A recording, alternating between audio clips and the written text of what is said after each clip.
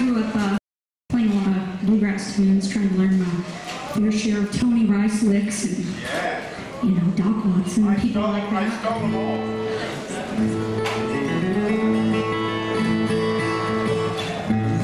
When we got together, Tommy said, well, let's play some, let's play some guitar tunes like what you would have grown up playing. So I said, okay, here's one.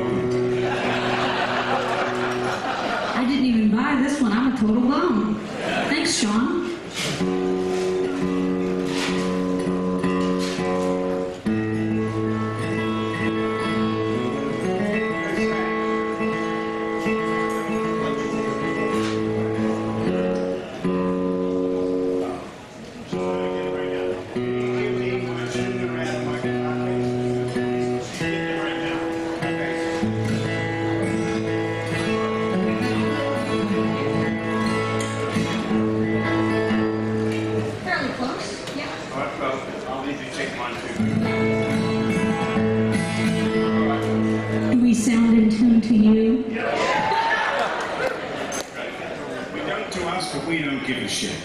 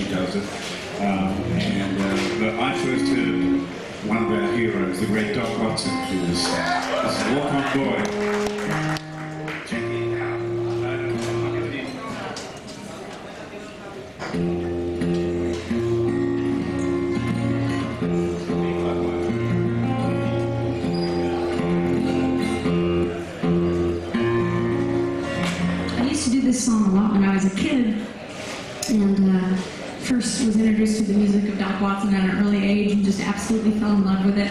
And in 2020, like all of us, yeah, I don't know what's going on the stream.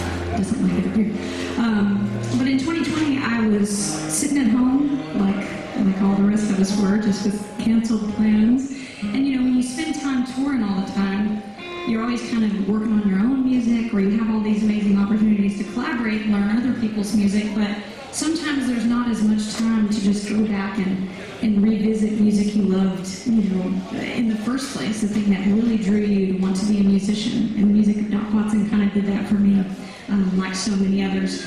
And so I went back and started revisiting some of that music, including this next song.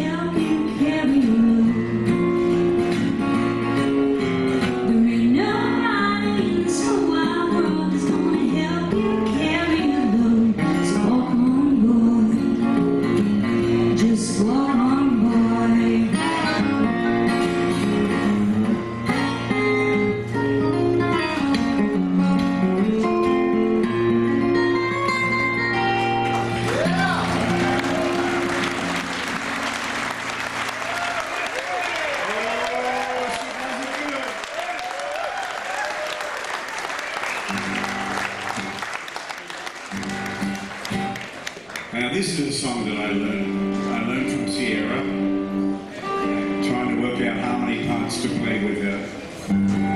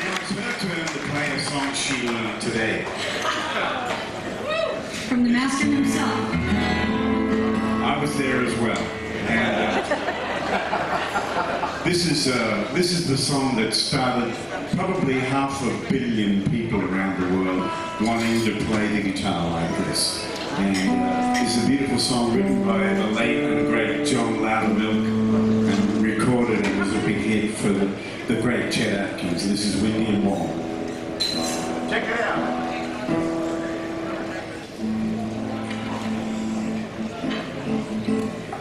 All right. I'll start this out and you just dribble in. Okay. Dribble on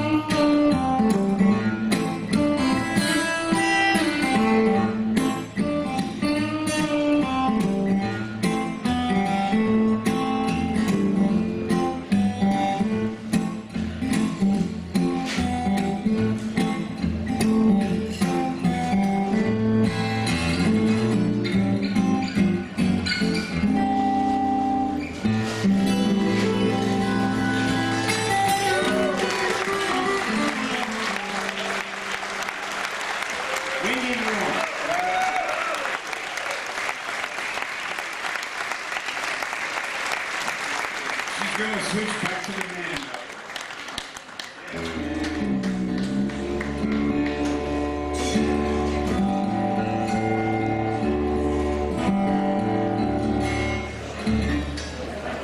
Tommy writes some of the most beautiful instrumentals. He taught me this one late last year. I wrote this song in uh, 1989, teeth.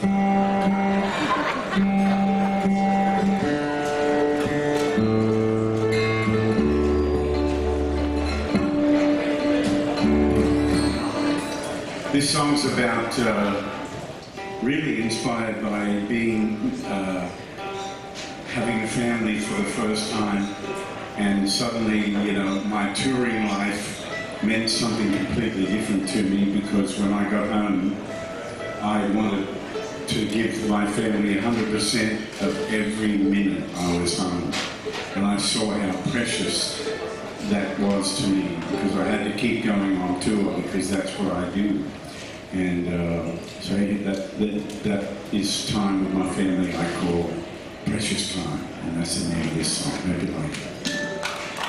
like.